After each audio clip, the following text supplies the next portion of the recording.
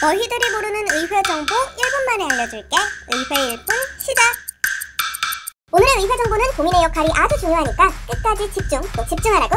이제 곧 경기도의회 주요 업무 중 하나인 행정사무감사를 진행한다는 소식인데 이때 도민 제보도 함께 받고 있지. 행정사무감사란 경기도의회가 경기도청, 경기도교육청 등을 상대로 제시한 정책을 당초 목적대로 집행했는지, 정책이 의도한 결과를 창출했는지, 도민의 의견을 적극적으로 수렴했는지, 예산 집행은 적절하게 집행했는지 등을 조사하는 제도야. 올해는 11월 5일 금요일부터 18일 목요일까지 2주 동안 진행한다고 해.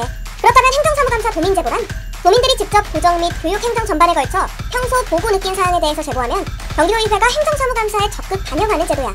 제보 내용은 행정의 위법, 부당한 사항, 예산 낭비 사례, 주요 시책과 사업에 대한 개선 및 건의 사항, 기타 도민들이 불편을 느끼는 사항 등이 될 수 있겠지. 단, 개인의 사생활을 침해할 우려가 있거나 계속 재판 또는 수사 중인 사건, 인신공격 또는 허위 비방 우려가 있는 사항, 익명으로 제보하는 경우 등은 제외가 되니 참고해.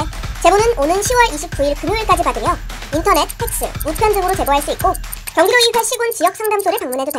평소 제보하고 싶은 사안이 있었다면 당장 달려가서 제보하길 바래. 아 그리고 의회 일분 아이디어 제보는 댓글로 해주고